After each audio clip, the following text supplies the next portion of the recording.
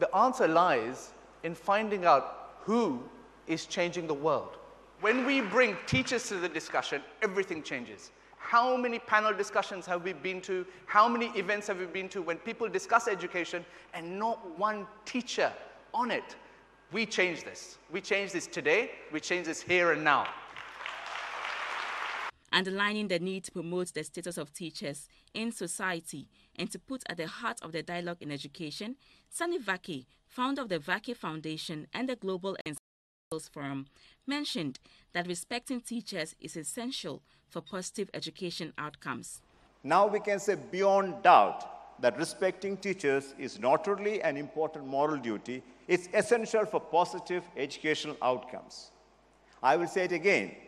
Respecting teachers is not only an important moral duty, it is essential for positive educational outcomes. A crossroads.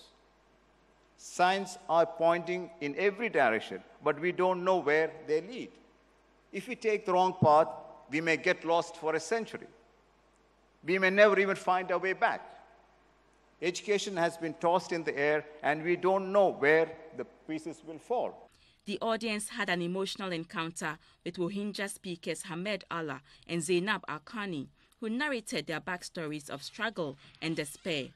An emotionally charged Allah, who spent the first 15 years of his life in the camp, his way to Canada, recounted his experience of being physically kicked out of school when he was a child a school system that was set up by the UNICEF and UNICEF in the refugee camp in Bangladesh. When I went there, the, uh, the teacher said to me, the headmaster of the school, he's the one who take all the registration. He said to me, why you want to be educated? People like you, you have no father and your mother is mentally ill.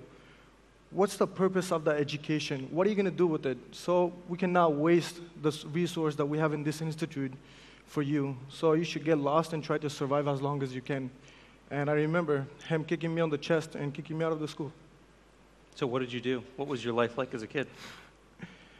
I mean, after uh, someone tells you to survive as long as you can, there's a thing in me, there's a courage and hope inside me said to me that I'm going to show him someday.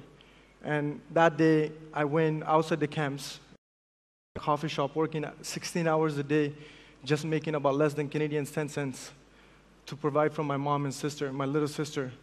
And for me, I, I could bear. You know, I got to Dubai, I haven't slept yet. I got, I got here yesterday and I haven't slept yet because this is the biggest opportunity in my life that I could talk about the rights of my people.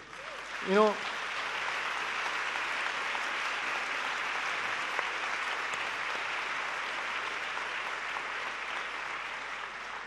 this is not just an opportunity for me. This is an opportunity for millions of Rohingyas who look for a better day. You know, when I'm there, people hugging me and crying to me because they want education. These people are not getting, they, they don't want anything from you. All they want is education, that education that I was provided. Canada giving me a home.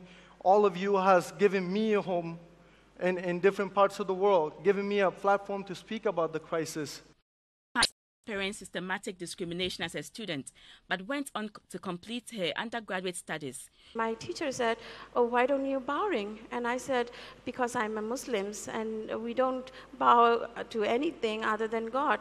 And uh, she said, Oh, you are Kala. Kala is the derogatory uh, word that they use for the Muslims people. Um, and she said, Go to the corner and stand there.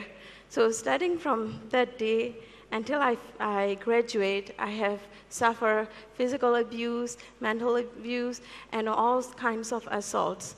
But I am among the 1% person luckiest Rohingya people uh, to go to school because 99% of us, they didn't have a chance to go to school because of the systematic barriers from the Burmese government.